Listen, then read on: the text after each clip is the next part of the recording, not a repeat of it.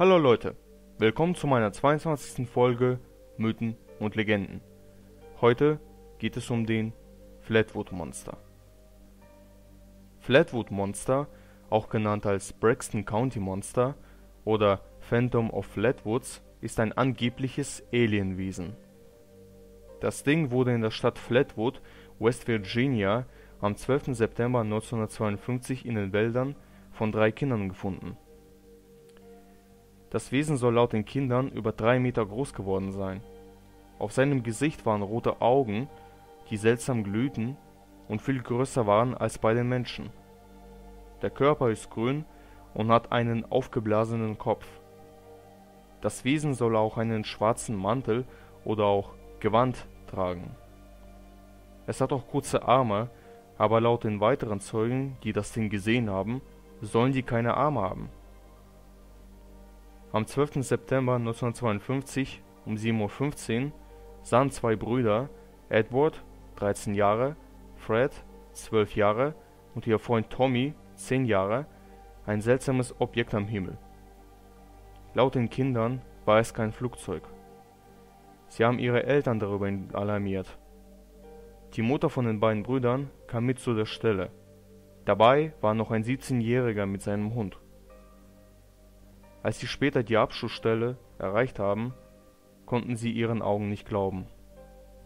Ein großer Feuerball, laut den Kindern, schwebte dort 15 Meter über ihnen umher. Dann kam ein seltsamer Nebel. Die Augen und Nasen der Kinder begannen zu jucken und teilweise auch zu brennen. Auch bekamen sie auch seltsame Symptome. Der 17-Jährige, der mit dabei war, sah in dem Nebel zwei seltsame Lichter. Er leuchtete mit seiner Taschenlampe in die Richtung und sah das Ding. Das Wesen erzeugte laute und rauschende Töne. Dann richtete sie ihren Blick auf die Kinder. Sie drehte sich in die Richtung der Kinder und ging auf sie zu. Die Gruppe mitsamt den Kindern rannte panisch weg.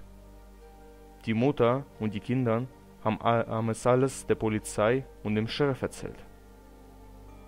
Der Sheriff begann dann später das Gebiet zu durchsuchen, aber er fand leider nichts. Am nächsten Tag beschloss er, das Gebiet nochmal zu durchsuchen. Es wurde neblig und der Sheriff sah zwei Lichter. Er hielt sie für UFOs. Die Polizei teilte noch mit, dass zu dem Zeitpunkt des Absturzes und der Sichtung der Kreatur von den Kindern das Radio für 45 Minuten ausgefallen ist. Andere Bewohner in der Stadt meldeten auch seltsame Sichtungen der UFOs nach der bekannten Sichtung der Kreatur. Theoretiker behaupten, die Kinder haben diese Kreatur mit einer Eule verwechselt, da die Eule große Augen und einen ähnlichen runden Kopf hat. Aber mal ehrlich, ich bin mir sicher, dass die Kinder in ihrem Alter schon wissen, wie eine Eule aussieht. Und eine Eule kann keine drei Meter groß sein.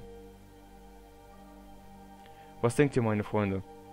Haben die Kinder wirklich eine Kreatur bzw. einen Alien gesehen?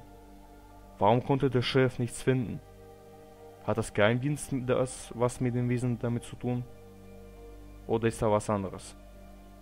Wenn ihr denkt, dass es wahr ist, also dass die Kinder ein Alien oder so ähnliches gesehen haben, dann schreibt jetzt in die Kommentare Alien.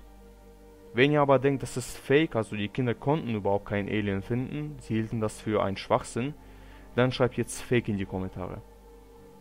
Also meine Meinung ist, ich würde schon schon so zu 60% sagen, dass die Kinder die Wahrheit sagen.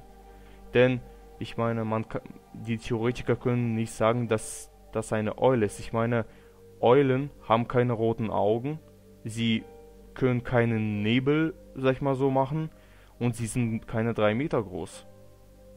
Das sind die drei Punkte, wo ich sage, nein, die Theoretiker liegen falsch. Was ich aber bestimmt aber sagen kann, dass es wahrscheinlich irgendetwas, irgendetwas mit speziellen Waffen oder irgendwelchen Experimenten zu tun hat. Denn ich habe auch bemerkt, laut den Berichten, die ich im Internet gelesen habe, dass weitere Sichtungen nicht, also nicht komplett ja, für wahrgenommen wurden. Es gibt immer noch Zeugen, zum Beispiel es gab auch drei oder vier Zeugen im Jahr 2013, die haben auch angeblich diese Kreatur gesehen. Nur sie konnten sie auch nicht vollkommen beschreiben. Also ich für meinen Teil denke, dass die Kinder die Wahrheit sagen. Ja, das war's mit der 22. Folge Mythen und Legenden. Ich hoffe, es hat euch gefallen. Wenn ja, dann gebt mir bitte einen Daumen nach oben. Kommentiert gerne auch die Videos.